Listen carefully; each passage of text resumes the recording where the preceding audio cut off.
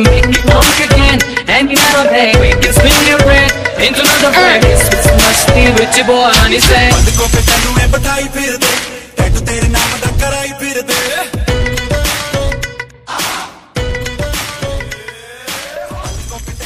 tight with a dick.